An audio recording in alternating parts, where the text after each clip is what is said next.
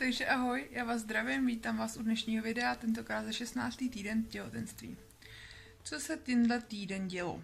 V pondělí hnedka z rána jsem šla uh, k doktorovi do poradny, kde jsem byla objednaná na klasickou kontrolu.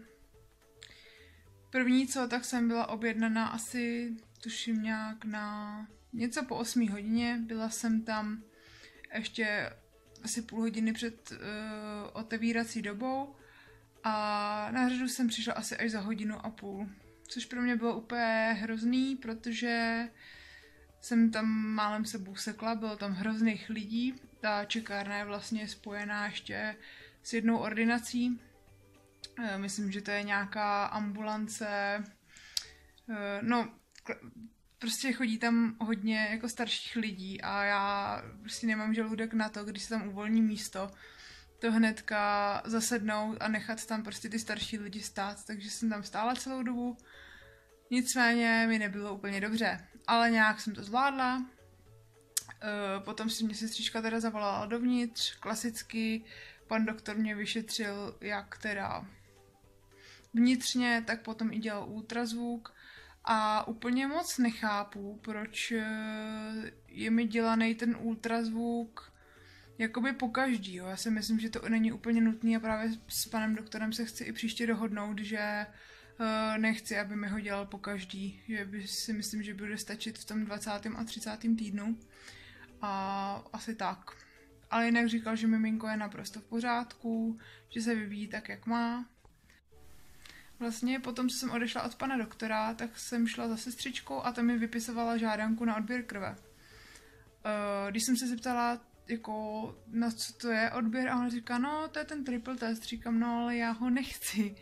A ona, no to je jedno, já vám to stejně vypíšu, a když tak na něj nepůjdete.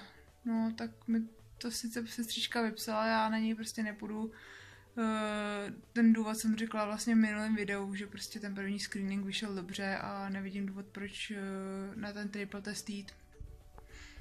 Jinak se cítím čím dál lépe, eh, nevolnosti postupně ustupují, i když to není ještě úplně ono, občas mě to překvapí ještě, ale už je to lepší, energie mám taky o něco víc. Začíná být zase teďko hezky, takže budeme chodit na nějaký procházky a trošku začnu se hejbat, trošku sportovat, protože jsem fakt ty tři měsíce hodně mm, proležela, proflákala, jak mi nebylo moc dobře. A jelikož jsem byla tak nějak zvyklá sportovat i před těhotenstvím, tak se potřebuji se zpátky dostat trošku do mojí kondice, ani ne jako lámat eh, nějaký fyzický rekordy, to vůbec ne, ale spíš kvůli té mojí psychické pohodě, abych byla tak nějak v klídku a myslím si, že je to dobrý i potom pro porad, abych byla trošku fit. Jinak už pomalinku, ale jistě mm, začínám pokukovat po nějakých věcech.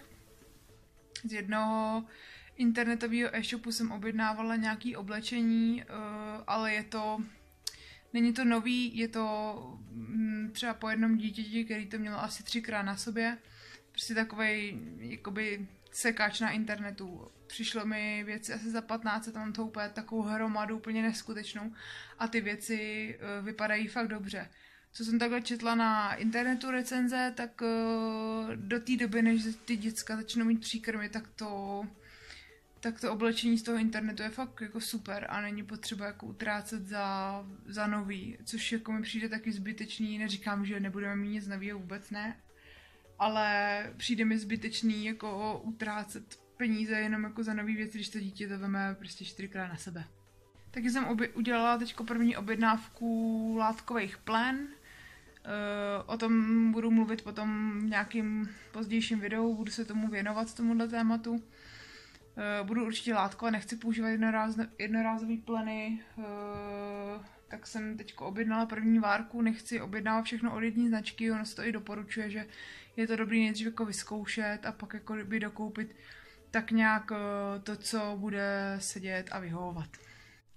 Jinak mezi mm, další takový, uh, takovou nepříjemnost jsem teď v posledním týdnu zaznamenala, že se mi občas stane, ale není to jako na furt, vždycky jenom takový úsek třeba 4-5 hodin, že blbě vidím. Fakt jako, že nepřečtu věci, jako nějaký menší, což mě docela zaráží, protože já jsem nikdy neměla problém jako se zrakem.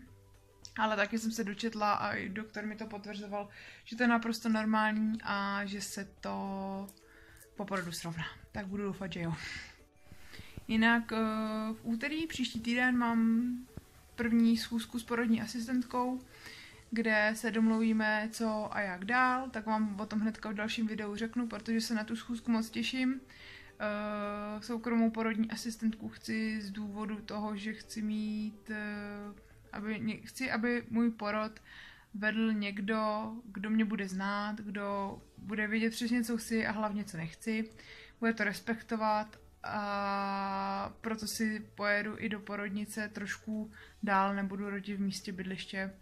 Protože opravdu, čeho, co bych jako fakt nechtěla, jelikož vůbec nevím, do čeho jdu, čekám první memčo, tak bych určitě nechtěla uh, se tam s někým potom dohadovat a uh, o tom jako, že mám třeba nějaký porodní plán a oni by to nedodržovali. Já prostě chci, abych tady v tom měla jako takový trošku klídek a budu si teda muset za to hod trošku připlatit, ale já jsem ochotná ty peníze za to dát, protože říkám, za ten klid mi to stojí.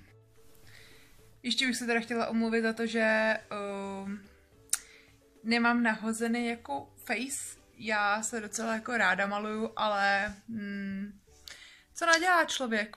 Prostě těhotenství je těhotenství. Já když se uh, teďko namaluju, tak jsem asi získala nějakou intoleranci na můj, na můj make-up a uh, líčit se jako bez make-upu nemá úplně moc smysl, takže, takže jsem taková osypaná a chci to nechat teď trošku doléčit tu, tu pleť, takže vypadám trošku, trošku jako nenamalovaná.